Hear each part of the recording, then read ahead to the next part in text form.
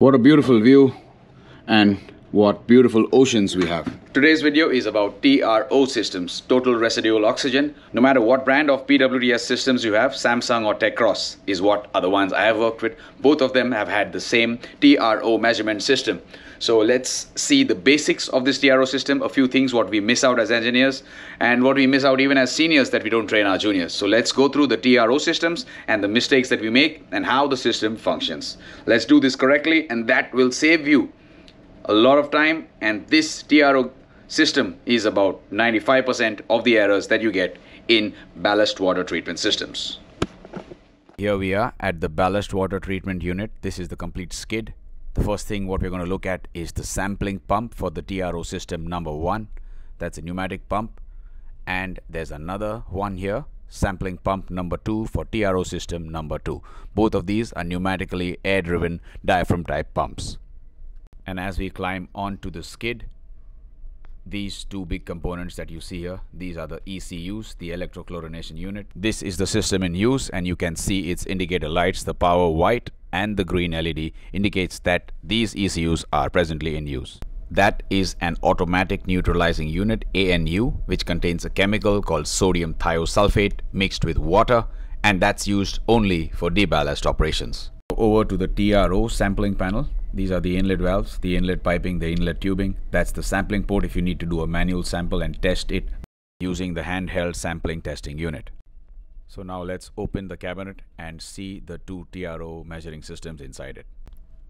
The one installed on the top is system number one and the one below is system number two. And as you see, number one is the system that is in use. These are the three solenoid valves at the bottom for each side of the ballast treatment unit and that will go to system 2 and this one to system 1 via the intake filter. This valve is a very important component of the system and must not be fully shut or fully opened. It has to be partially adjusted to keep the flow and keep the sampling pumps always running so that we get an actual representative sample after the ECU units and the TRO measured is the actual TRO what is in the system.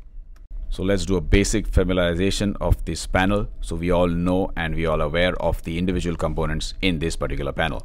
That's the intake line. After the filter, it goes to the flow regulator, then to the intake solenoid, and then to the system. Behind that glass, that's the drain solenoid, also called as the purge solenoid, and that's the drain line.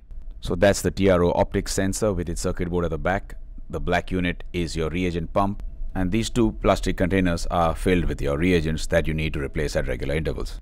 And the other thing what you see on this skid is the power distribution equipment or the local panel, the local operating panel that has this emergency control of the currents on the ECUs and this is the HMI PC, the Human Machinery Interface PC where you can control each and every operation just as you would do it in the CCR.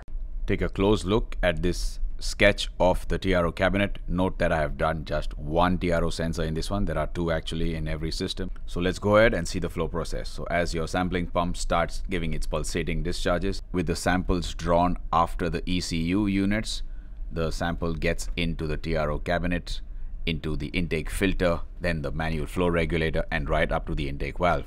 And as you see, the sample doesn't yet flow into the TRO optics sensor. This is simply because the measuring process hasn't started yet it's important to take note of this bypass valve that's there in the system. This is uh, partially open and it has to be such and do not adjust it because this will maintain a representative sample of your system. Even when the TRO cabinet is not measuring, the sample will continue to flow through this system. Thus, the representative sample will be very accurate and your TRO measurement will be accurate.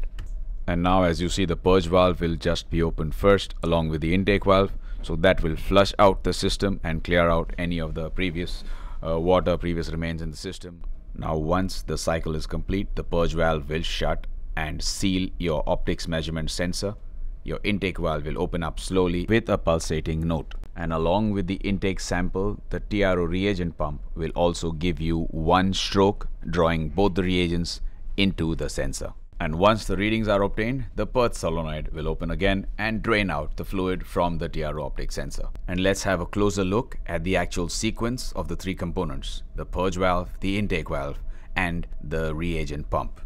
And as you can see, the purge and intake valve initially open together this will draw in a sequence of sample to just clean the sample. The purge valve will open up again and drain that particular sample so that flushes the sensing uh, TRO optics and now the intake valve will open up.